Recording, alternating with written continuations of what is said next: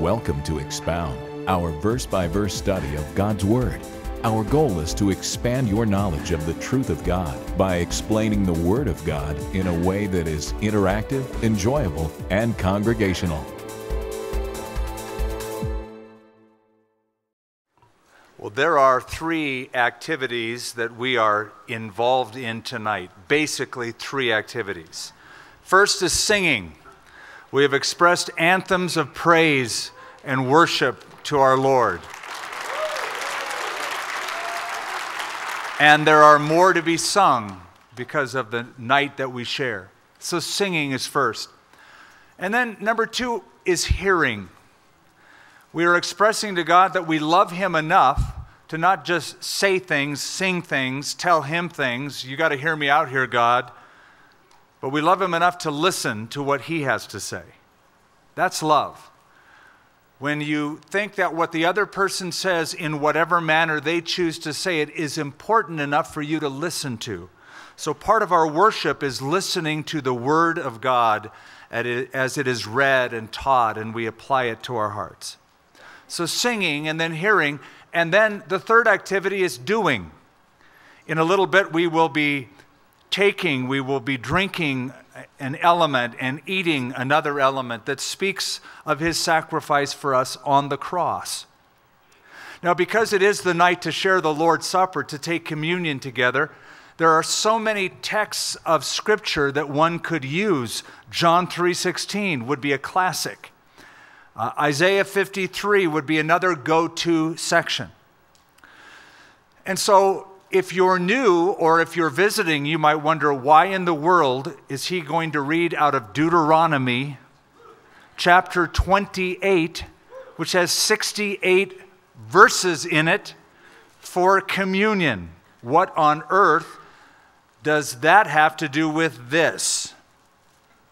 Well, I'm glad you asked.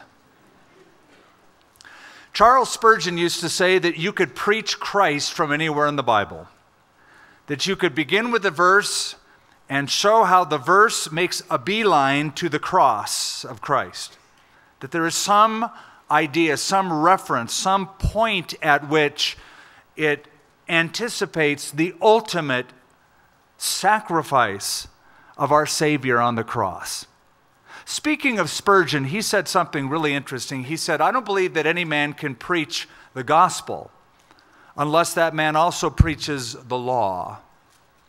The law, said Spurgeon, is the needle.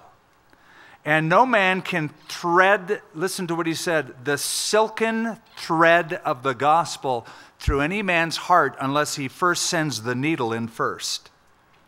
So it's the needle that pricks, it's the needle that sticks, and then we send the thread of the gospel through that heart. So until a person recognizes that he or she is a sinner, and the law does that. That person will never see their need for a Savior. Unless a person knows he or she is a sinner, they are not looking for the sin offering. Jesus said, Blessed are the poor in spirit. Theirs is the kingdom of God. You need to know at some point how poverty stricken you are before you'll ever need the riches of His grace in your life. It's like going to a doctor. Typically, you don't go to a doctor just to have coffee.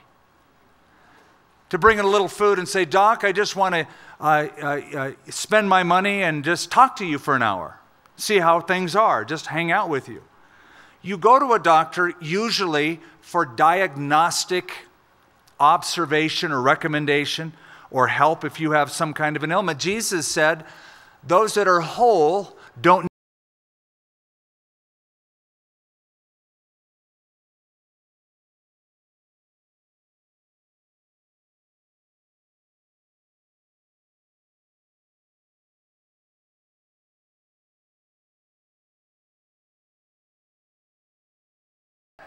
a Chinese guy. Tell me how that in Chinese, the symbol or the word, which is also a symbol, the word for righteousness is so fitting.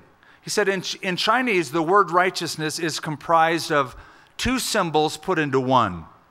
Now, some of you know that in Mandarin, uh, it's largely pictographs, pictures uh, that have been drawn from antiquity that are put into a modern um, an alphabet. And so he said the word righteousness comes from two words that have been put together. The first is a symbol of, of me, of a, of a man, of a person. And uh, that's the first picture. And interestingly, it's the picture of a man holding a weapon, a sword, going to war, fighting. And it's a reminder, he said in Chinese, of the imperfection and the fallenness of mankind. Because we are apt in every generation to war against one another. That's the first part of the picture. But then the second part of the picture is a lamb placed above me, above the man, the warring man with the sword. So a lamb is over me. Those two symbols is the word in Chinese for righteousness. Isn't that interesting? That is man at his best. Man at his best is a man that has a lamb over him. You might say, and I love that symbol. I love that when, when I heard that. You might say that God looks at you through rose colored glasses. The rose color, of course, is the crimson blood of his son. That's how he looks at you. That's how he regards you as that sacrifice that he has made.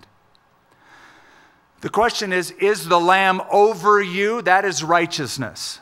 If you are over the lamb, that's your self righteousness. Deuteronomy, as we have talked about before, is a series of sermons preached by a very old man, Moses, 120 years old, on the plains of Moab before he kicks the bucket and before the children of Israel cross over into the new land. There are three sections of Deuteronomy I have pointed out so far. Chapters 1, 2, and 3 is the first section. It's a review of the past this is what God has done in the past, and he reviews it in those three chapters. The second section of Deuteronomy are regulations for the present. This is what you are now to be doing. So, this is what God has done. This is what you are to be doing. And the third section is readiness for the future. This is what you and God will do and it really depends on what you do with what God has done, which will determine what God will do with you and for you in the future. So, this is all the law, right? The law. Now, the law is intended to bring conviction. For the law, said John, came by Moses, but, but, finish the verse, John chapter 1. The law came by Moses, but grace and truth came through Jesus Christ. So it's great, really, on communion to compare the two. This is what God has done, this is what you are to do, and this is what you and God will do in the future. That's how Deuteronomy is laid out. Now, you can see that Deuteronomy 28 has lots of verses, 68 verses. So a lot of tonight is self explanatory, it is self evident. So we're going to read large sections, and I just think there's value in reading together a text of Scripture. And we'll make some comments as we go. But now it shall come to pass, verse 1, if, and I just want you to know, I could preach uh, an entire sermon on that single word, if. I might call it the smallest word with the biggest consequences. It is a conditional word because this is a conditional covenant. If you do this, then I will do that. But if you don't do this, then I won't do that, but I will do such and such. So it's conditional. If you diligently obey the voice of the Lord your God, to observe carefully all of his commandments, which I command you today, that the Lord your God will set you high above all the nations of the earth and all these blessings shall come upon you and overtake you. I love how that is written. Can you imagine? You're walking down the street, you might even be running down the street, but you count, if you obey God, you can't outrun God's blessings. David said, Surely goodness and mercy will follow me all the days of my life. I just love the concept, the idea of God's blessing chasing you down, overtaking you, jumping on you, wrestling you to the ground. You're going to be blessed. You can't escape it. They'll overtake you because you obey the voice of the Lord your God. Blessed shall you be in the city, and blessed shall you be in the country. If you go downtown, you'll find a blessing. If you go out of town, you'll find a blessing. Now, this section you will notice is a list of the blessings and the cursings. Blessings if you obey, curses if you disobey. Or you might say the blessings or the blastings. It's your choice. Do you want to be blessed or do you want to be blasted? God can give you either. He's good at both. He's very good at both. The tribulation period in the book of Revelation is about the blastings of God, the ultimate blast of God and judgment upon the earth. What is interesting is in Deuteronomy 28, the section where the curses, the blastings are given, are four times longer than the list of blessings he gives. Why is that? Well, we could speculate, but I, I, I think it's as simple as God knows us. He knows the future. He knows what will become of the children of Israel. He knows they will disobey. He knows the trouble they're going to get into. And so he warns them in detail. This is really an element of prophecy. We've talked about prophecy before. You know, think of it this way prophecy is just history written in advance. It's history written by God before it happens. That's all prophecy is. He knows what's going to happen to the children of Israel, and so he announces it in detail. He anticipates the captivity of Babylon, as you will see. Blessed, verse 4, be the fruit of your body, the produce of the ground the increase of your herds, the increase of your cattle, the offspring of your flocks. Blessed shall be your basket and your kneading bowl. Your recipes will be blessed, the casseroles will be blessed, the bakery will be blessed. Blessed shall you be when you come in, blessed shall you be when you go out. The Lord will cause your enemies who rise against you to be defeated before your face. They shall come out against you one way and flee before you seven ways.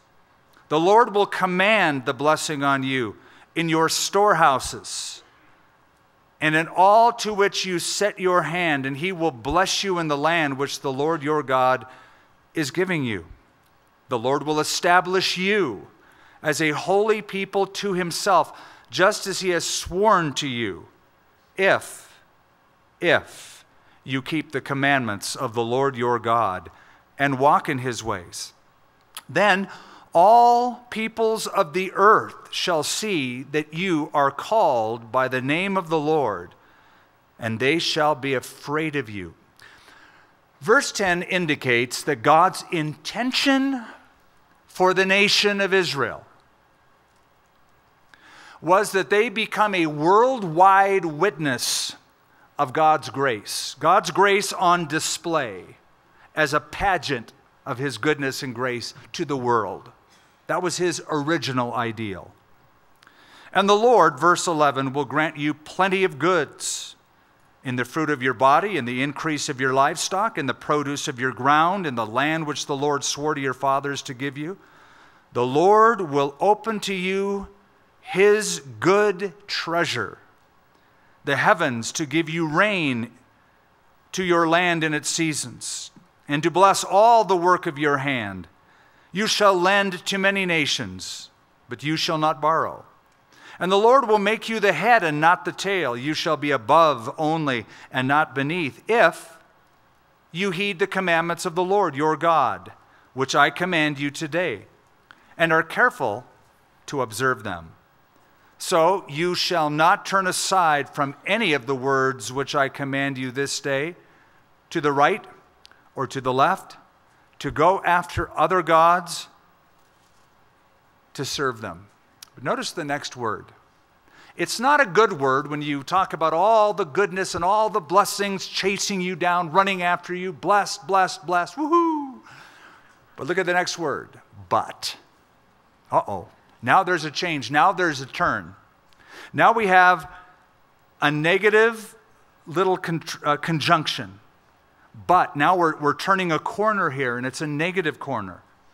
But it shall come to pass if you do not obey the voice of the Lord your God to observe carefully all his commandments and his statutes, which I command you today, that all these curses will come upon you and overtake you. Cursed shall you be in the city, and cursed shall you be in the country. Doesn't matter if you live out of town or you're downtown, you'll be cursed. Cursed shall be your basket and your kneading bowl. Cursed shall be the fruit of your body, the produce of your land, the increase of your cattle, the offspring of your flocks. Cursed shall you be when you come in, and cursed shall you be when you go out. The Lord will send on you the cursing, confusion, and rebuke in all that you set your hand to do until you are destroyed and until you perish quickly because of the wickedness of your doings in which you have forsaken me. Now, you need to understand this language. It is mentioned a few times in this chapter. Again, if you notice in verse 20, it says, until you are destroyed and until you perish. Destroyed is the Hebrew word shamad, perish is the Hebrew word avad. It does not mean annihilation. It does not mean that God will permanently wipe you out. It means that you will be temporarily misplaced from the land. Remember last week, we spoke about the covenant called the Palestinian covenant, the land covenant. And we said this covenant is an unconditional covenant given to Abraham, Genesis 15. It's not conditioned at all upon the people. However, this covenant the covenant of Moses, called the Mosaic covenant, is a conditional covenant. If, if, if, all conditions. So you need to put them both together and understand that, that the land allotment was unconditional, but the land arrangement was conditional. You enjoying the land, you staying in the land is conditioned on your obedience. If you disobey me, bad stuff is going to happen to you. You'll be cursed, cursed, cursed, and you will be kicked out of the land. But God anticipates a repentance when they will return back to the land He promised them at some point. So, the allotment is one thing, that's permanent, that's unconditional, it's going to happen whatever you do or not do. But the arrangement is conditional, so obey so that you can enjoy and stay in the land and not have to be kicked out of it. So, when God says destroy here, he's not talking about annihilation, he's talking about evacuation or eviction. I'll evict you from the land, but he anticipates their return. Verse 21 The Lord will make the plague cling to you until he has consumed you from the land which you are going to possess. The Lord will strike you with consumption, with fever, with inflammation, with severe burning, fever, with a sword, with scorching, with mildew and they shall pursue you until you perish. And your heavens, which are over your head, shall be bronze, and the earth which is under you shall be iron. The Lord will change the rain of your land to powder and dust. From the heavens it shall come down on you until you are destroyed. Now, that reminds us of what happened in the United States not too far from here, in fact, it even affected this state in the 30s and 40s, that great Dust Bowl era, when 150,000 square miles of the United States, the Great Plains, were affected. And sometimes dust storms rose so high, one dust storm on record rose 10,000 feet in the air and just covered that part and this part of the country with just dust, no rain, dried out, no yield in the crops. The Lord, verse 25, will cause you to be defeated before your enemies. You shall go out one way against them and flee seven ways before them, and you shall become troublesome to all the kingdoms of the earth. I find that wording very interesting because my reading of history is that the Babylonians, the Assyrians, the Medo Persians, the Greeks, for the most part, uh, the Syrians under Antiochus Epiphanes, the Romans, all found most of the people in the world easy to manage except for one group of people the Jewish people. They found them so resistant to assimilating into the other cultures and maintaining a strong semblance of Judaism because now that they were in captivity, they suddenly wanted to turn back to the Lord and serve the Lord to get out of what got them into that situation. And they were a trouble, all of the history books tell us. Your carcasses shall be food for all the birds of the air and the beasts of the earth and no one shall frighten them away. The Lord will strike you with the boils of Egypt, with tumors, with the scab, with the itch, yuck, from which you cannot be healed. In Egypt, because of the Nile River, and because of the way agriculture was conducted in Egypt, there was the mixing of the animal population with the human population. There was not the hygienic division of animals and their waste from human water sources. And a number of diseases in Egypt, like around the world today in many of these places, was rampant.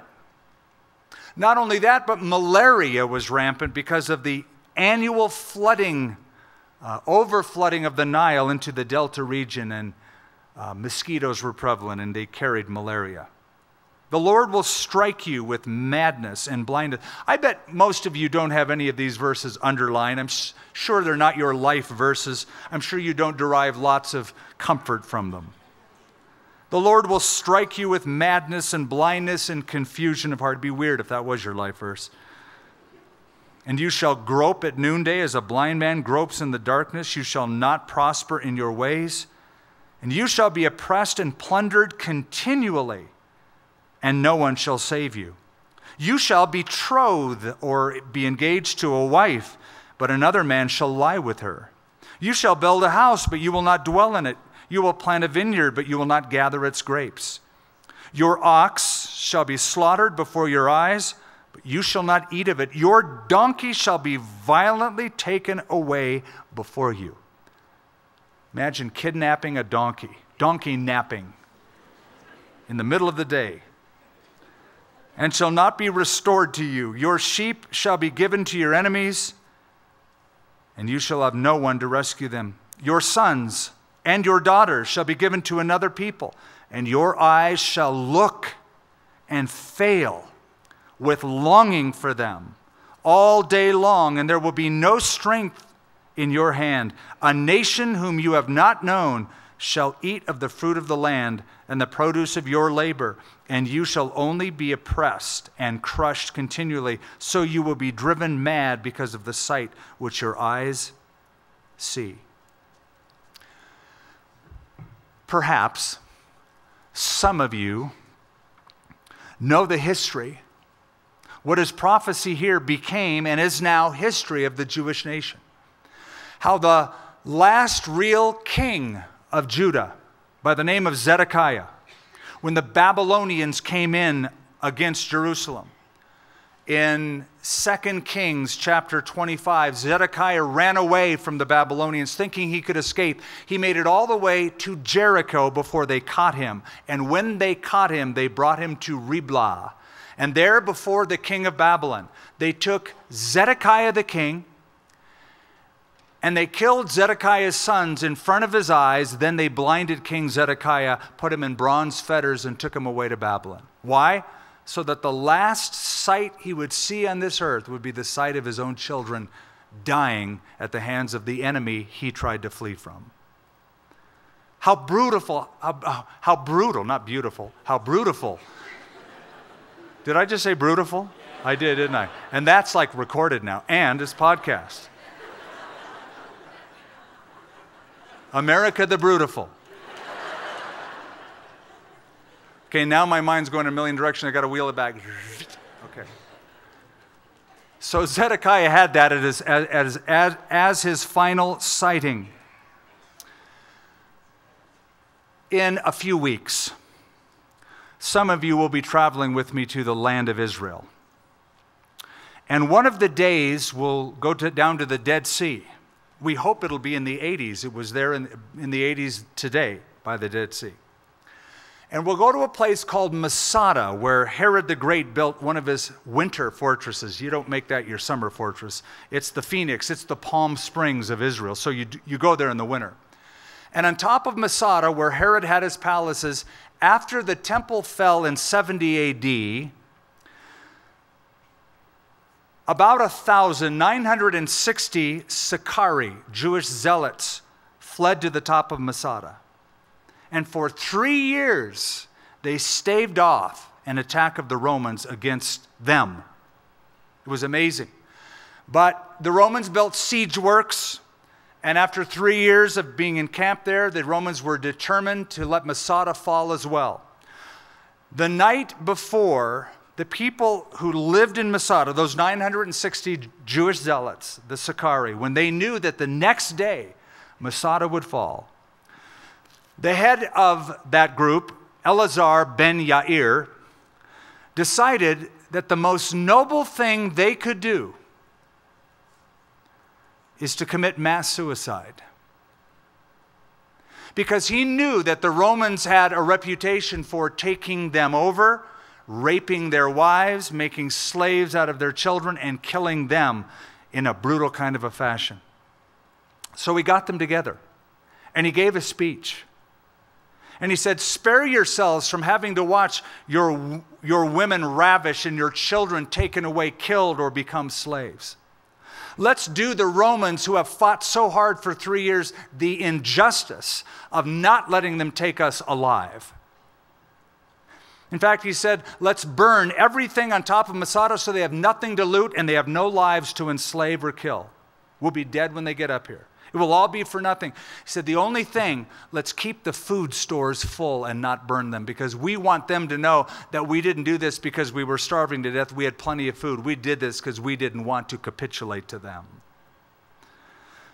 So the plan was they drew lots, and 10 men who got the lots would kill everyone else on Masada men, women, and children. And of those 10 survivors, they would cast lots again, and one man whose lot it fell on would kill the nine others and then take his own life. According to history, only five survived.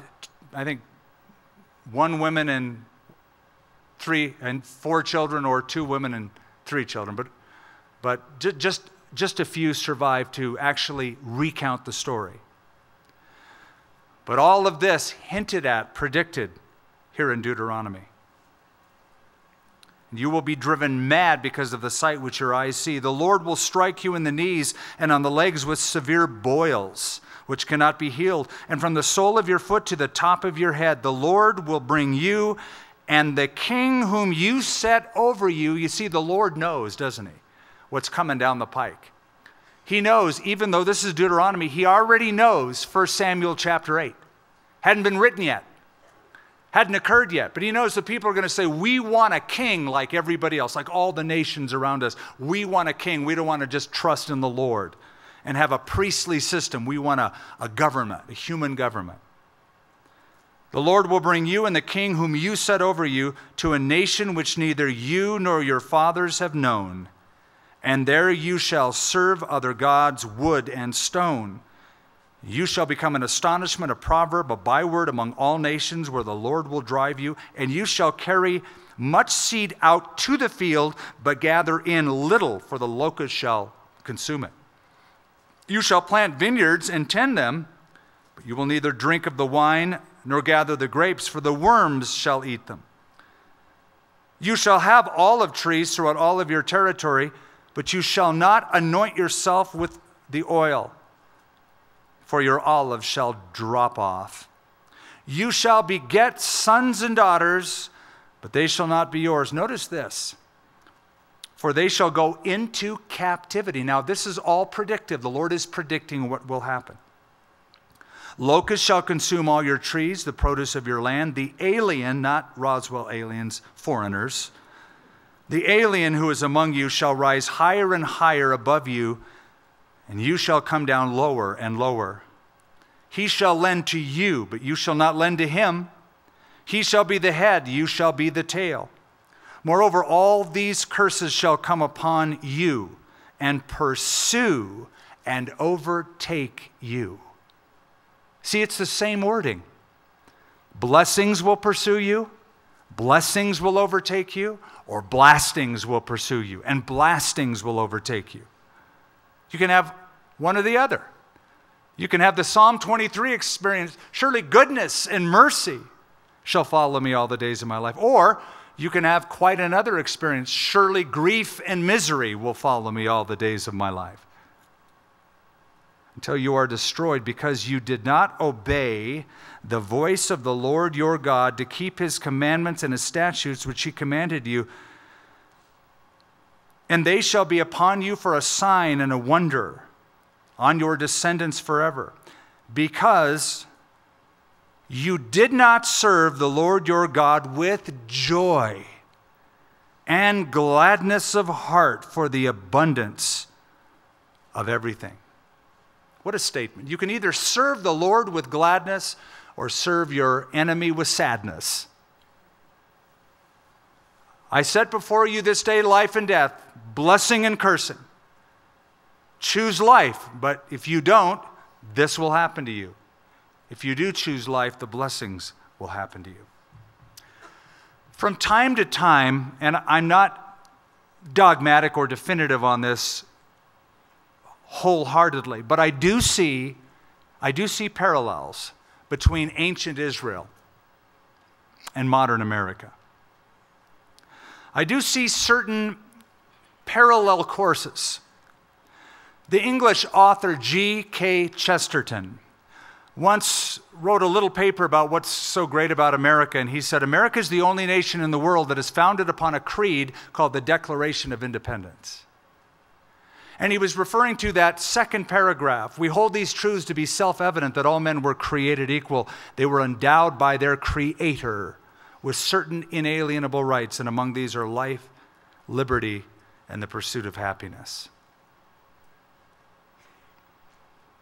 This is a great nation.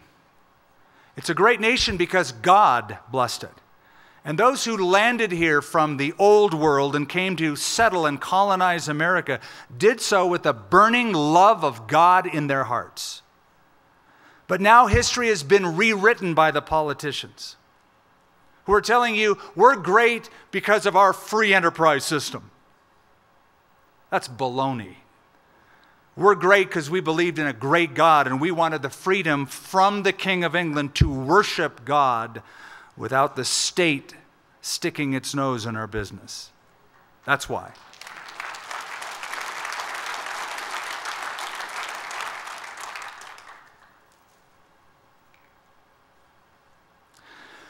You know, nations don't fall when they're in the period of their sacrifice and suffering.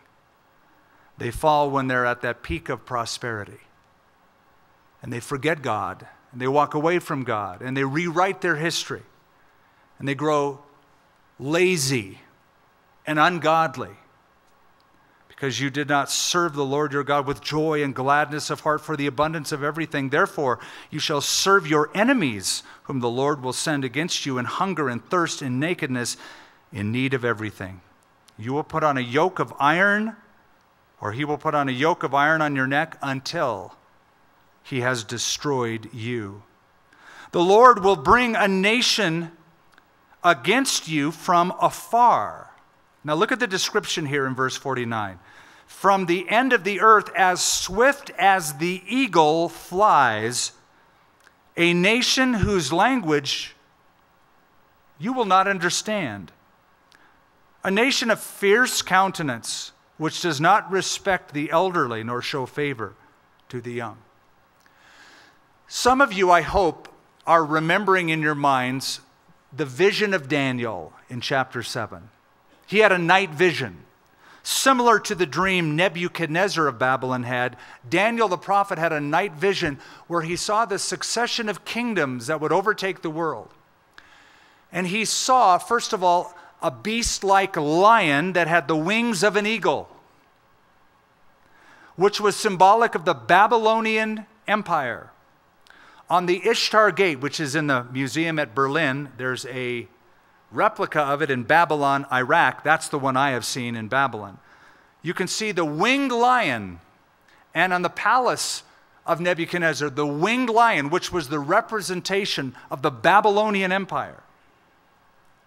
But not only that, but years would pass after Babylon, after the Medo Persian Empire, after the Greek Empire, after the split of the Greek Empire, and the Seleucid dynasty and the Ptolemaic dynasty. Eventually, there would come another oppressor against the Jews called the Rome, uh, the Romans, the great iron fist of Rome. And the symbol of Rome was the symbol of an eagle. And I just have to believe that uh, an educated Israeli, when the, when the um, shields of Titus surrounded Jerusalem in 70 AD and they saw uh, the brooch of the walls of Jerusalem and the symbol of uh, the eagle coming over their walls, that they thought back to this verse Swift as an eagle. Here it is. The eagles are coming. The eagle has landed in our city, our oppressors a nation of fierce countenance. Verse 51 And they shall eat the increase of your livestock and the produce of your land until you are destroyed. And they shall not leave you grain or new wine or oil or the increase of your cattle or the offspring of your flocks until they have destroyed you. They shall besiege you at all your gates until your high and fortified walls in which you trust. Huh Again, you know, with every turn of the phrase, you know, you're, you're trusting in your gates, you're trusting in your walls. Do you remember Psalm 127? Unless the Lord build the house, they labor in vain who build it. Unless the Lord watches the city, those who watch, those who guard it, do so in vain. They trusted in the walls that they built and the gates that they fortified.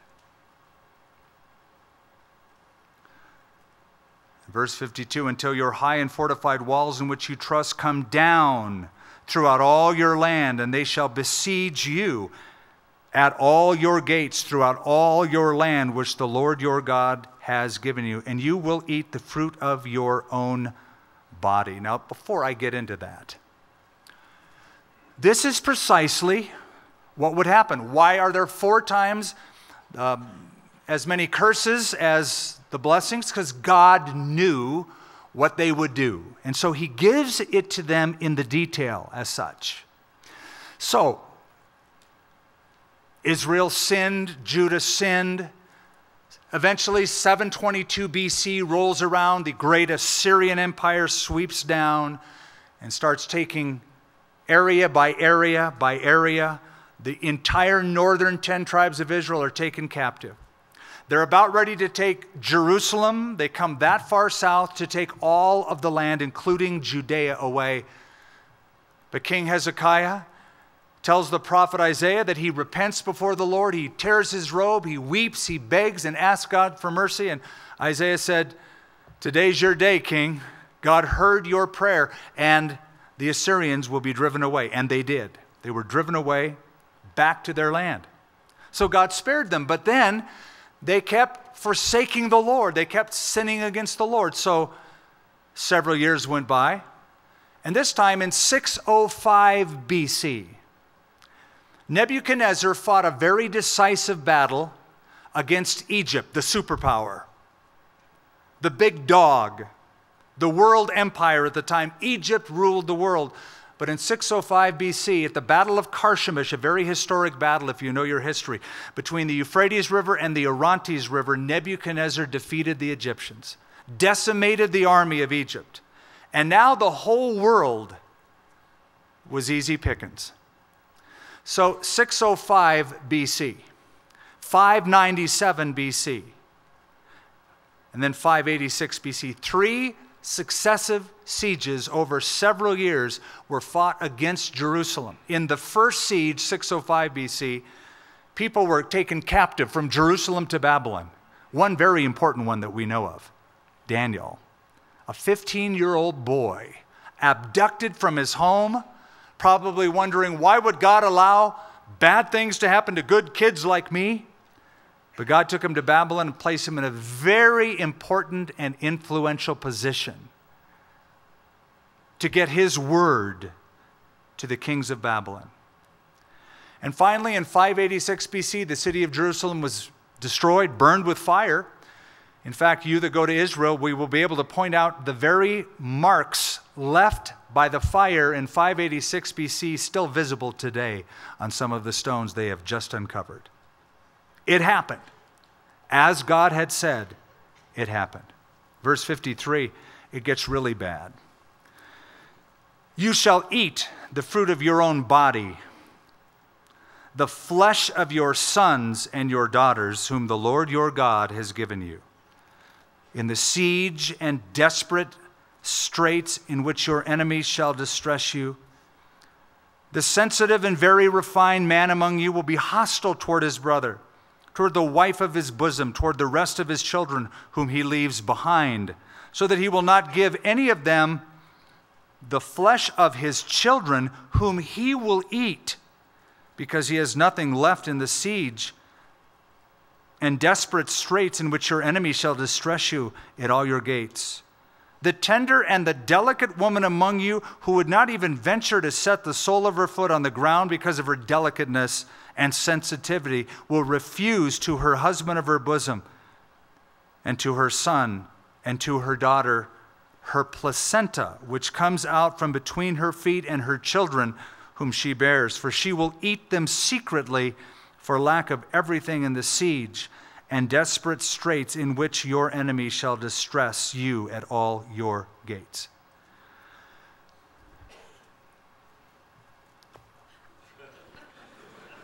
Self explanatory. Cannibalism.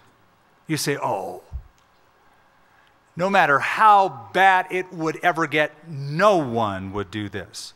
Well, you don't know your history if you think that. There are several occasions of that, even in, in modern history. But the Bible shows us on two occasions. Once when Syria came against Israel in the north, and once when the Babylonians came against Judea, Jerusalem in the south. Let me just read it to you briefly and we'll move on. I know you're thinking, this really isn't meditative for communion, Skip. Don't worry, we'll get there. It says, Then the king of Israel was passing by on the wall. The Syrians were besieging them. And so the king of Israel was passing by on the wall, and a woman cried out to the king, saying, Help my lord, O king. And he said, If the Lord doesn't help you, where can I find help for you? From the threshing floor or from the winepress? In other words, I got nothing. And the king said to her, What is troubling you? And she answered, This woman said to me, Give me your son that we may eat him today, and we will eat my son tomorrow. So we boiled my son, and we ate him. And I said to her on the next day, Give me your son, that we may eat him. But she has hidden her son. Now it happened when the king heard the words of the woman that he tore his clothes as he passed on the wall. The people looked, and there, underneath, he had sackcloth on his body. The other happened and it's recorded by Jeremiah in the book of Lamentations as Jerusalem is being besieged by the Babylonians. Lamentations, this is chapter 2. He says, See, O Lord, and consider, to whom have you done this? Should the women eat their offspring, the children that they have cuddled?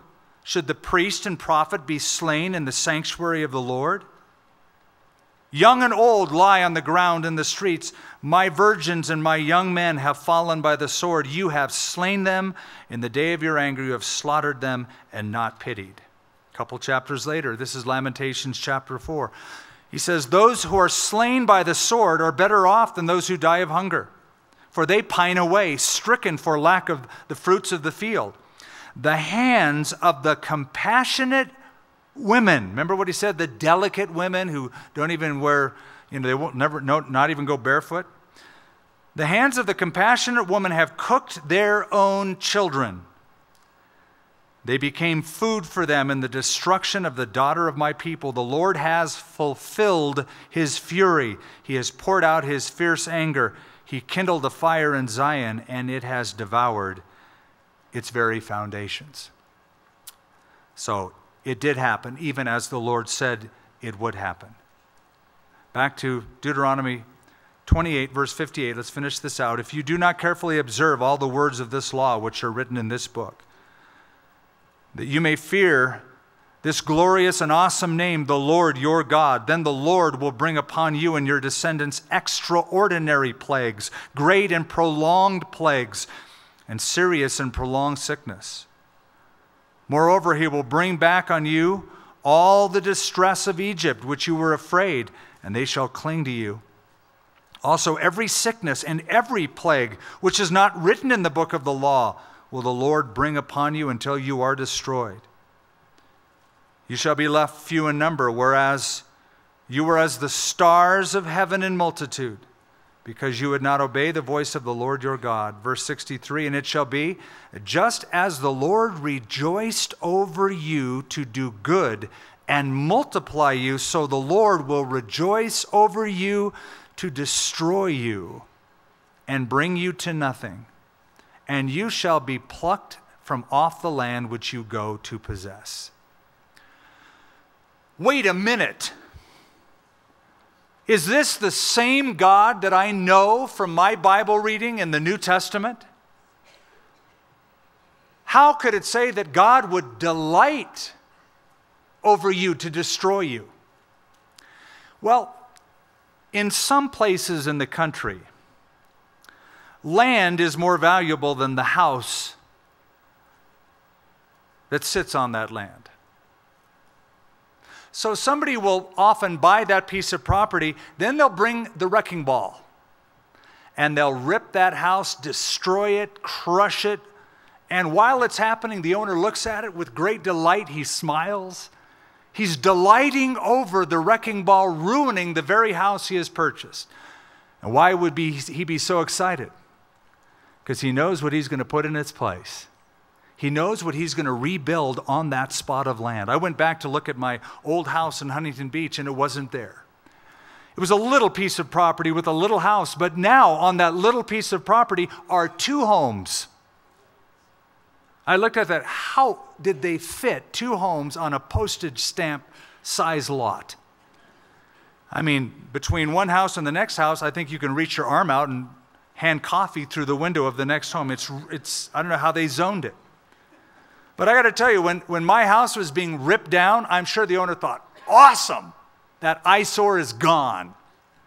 In its place, I'll put something more profitable, more beautiful.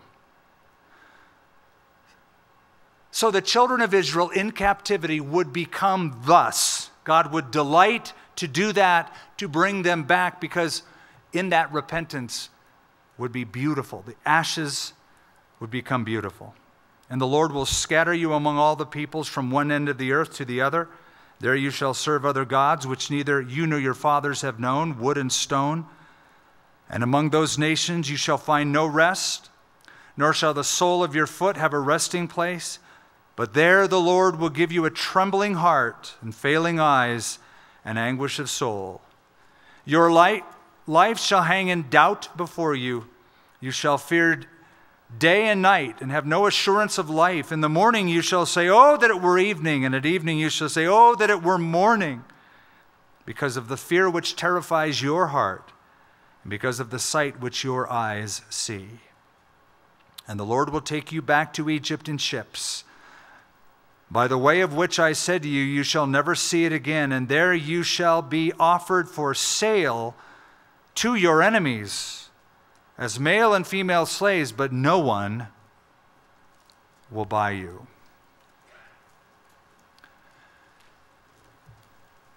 if you forget your redemption, and if you forsake your liberation, then the result will be oppression. That is what I see as the great principle here for the children of Israel then under the law. Here's my way, says God. It's a way of blessing. The blessings will chase you down, jump on top of you, and I'll stuff a blessing down your throat whether you like it or not. You'll just be blessed in everything you do. But you run the other way, you run away from me and my principles, calamity is going to chase you down whether you like it or not. So let's say you walk up to a tall building and there you are on the 20th floor of this tall building, and you say, I don't care about the law. I'm not under the law. The laws of the land or the laws of nature. I've heard there's a law called gravity, but I don't want to live under the law. I want my liberation. I want my freedom. Be careful because if you exercise your freedom with that kind of thinking, you'll end up as a big splat on the sidewalk. Cursing will overtake you, not blessing. So, the way of blessing, God says, here is the way of blessing. Be blessed, have life, don't be cursed. But if you do that, there will be consequences. It's a small word with big consequences. If. If. If. So let's, let's prepare our hearts for this. Are you looking at the world the way God looks at you? God looks at you through rose colored glasses, blood stained glasses. Are you viewing your life and the world around you through that sacrifice? Is the lamb above the man or the woman? That's righteousness. Or is the man or the woman above the lamb? That's self righteousness. That's not wisdom, that's foolishness. As we take these elements, for you to even take the bread and the wine is a statement. You are saying, I believe Jesus Christ to be over me. He paid for me, He bought me with His blood on the cross. As it says in Revelation, you have redeemed us to our God by your blood out of every tribe, tongue, nation, people.